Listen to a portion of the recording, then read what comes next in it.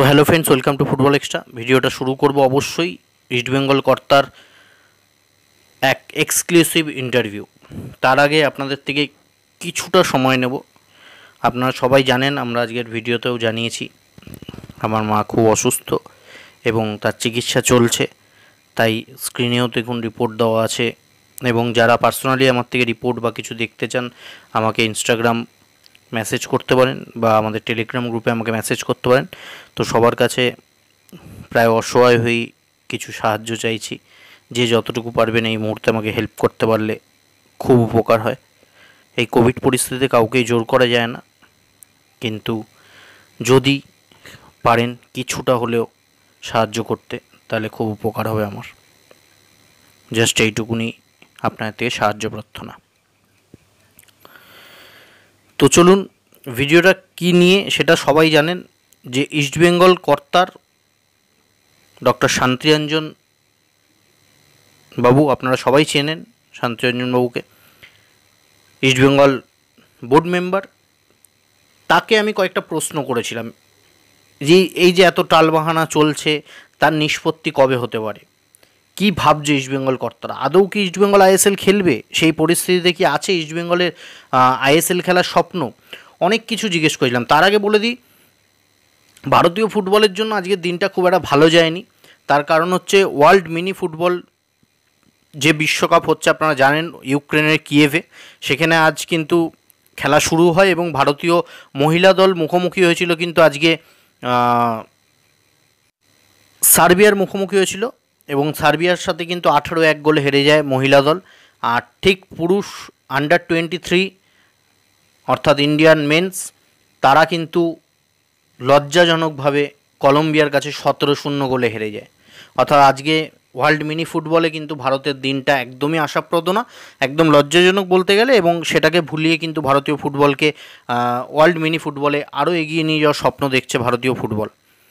তো অবশ্যই আপনারা হয়তো এই এই বিষয়টা হয়তো জানার জন্য অপেক্ষা করে নেই। আপনারা হয়তো সেই ফোন ইন কলটা শোনার জন্যই অপেক্ষা করে আছেন। অবশ্যই দেব। কারণ আজকে তো সারাদিন আমরা ভিডিও দিতে পারিনি, তাই কিছু কিছু খবর রয়ে যায়, সেগুলো জানিয়ে দিই। কারণ অনেক সমর্থক আমাদের রেগুলার প্রশ্ন করে যাচ্ছে। একদম শেষেই আপনাদের ওই ফোন ইন কলটা শুনিয়ে দিচ্ছি, যাতে ইস্টবেঙ্গল সমর্থকরা আশা করি খুশি হবেন। এতদিনের যে চিন্তা ভাবনা আশা করছি, সেটা শুনে খুশি হবেন। এর সাথে বলে দিই ডেভিড উইলিয়ামসকে নিয়ে অনেকে প্রশ্ন করেছিলেন, তিনি চলে এসছে আর মোহনবাগান সমর্থকদের একটাই কমন প্রশ্ন, সেটা হচ্ছে চারজন বিদেশি কে হবে? দল ঘোষণা কবে হবে? দল ঘোষণা যত সম্ভব শনিবার হওয়ার কথা। আর চারজন বিদেশি এখনও পর্যন্ত আমাদের কাছে যতটুকু আপডেট আমরা জোগাড় করেছি, তাতে কিন্তু কাল ম্যাকিওকে হয়তো এফসি দলের বাইরে থাকতে হচ্ছে।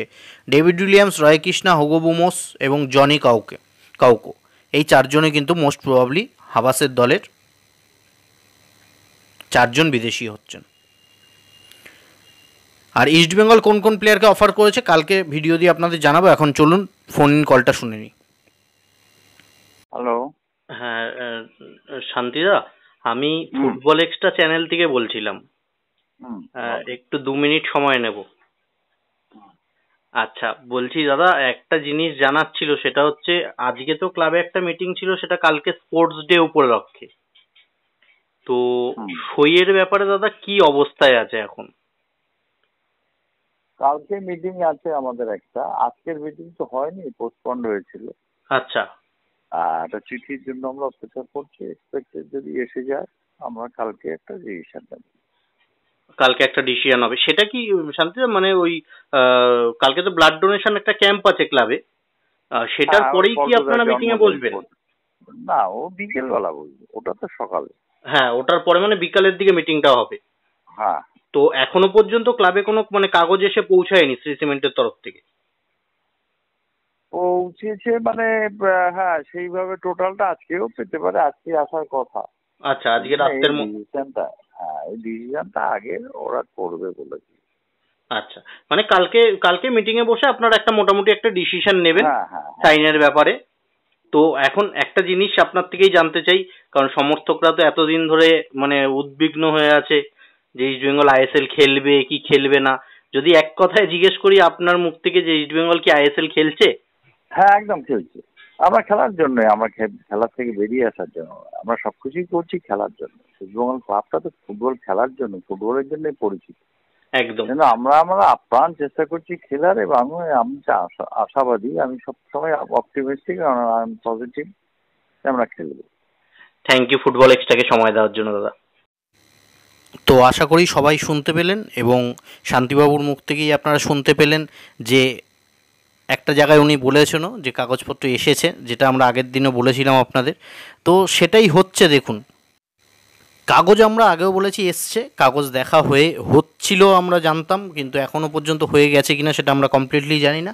যাই হোক, শান্তিবাবুর মুখ থেকে ইস্টবেঙ্গল যত সমস্ত আছে আপনারা হয়তো শুনলেন, যে ইস্টবেঙ্গল আইএসএল খেলছে এবং তিনি সেটা জোর গলাই বললেন এবং কালকেই কিন্তু ব্লাড ডোনেশন ক্যাম্পের পরেই কিন্তু ইস্টবেঙ্গল ক্লাবের মিটিং আছে এবং সেই মিটিংয়েই কিন্তু ডিসিশন নিয়ে নেওয়া হবে। বলে তিনি জানালেন। অর্থাৎ এর থেকে পরিষ্কার যে কাল সকালবেলা ব্লাড ডোনেশন ক্যাম্প কমপ্লিট হওয়ার পরে কিন্তু ইস্টবেঙ্গল কর্তারা বিকেলবেলা মিটিংয়ে বসছেন।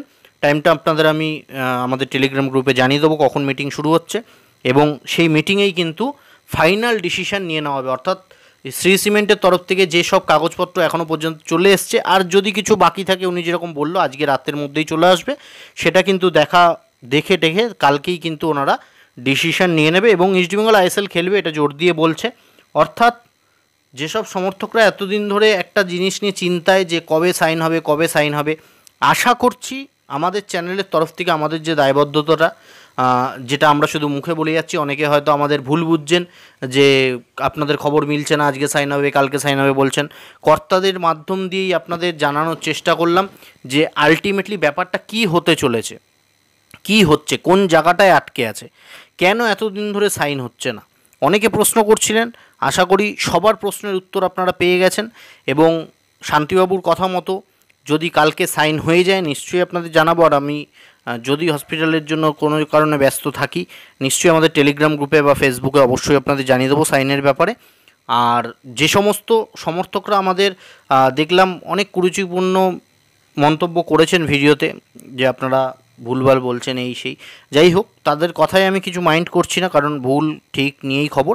তো আশা করি আপনারাও ভিডিওটা দেখবেন এবং আপনারাও খুশি হবেন। তো থ্যাংক ইউ গাইজ ভিডিওটা ভালো লেগে থাকলে লাইক কমেন্ট শেয়ার করবেন। অবশ্যই চ্যানেলের সাথে থাকবেন।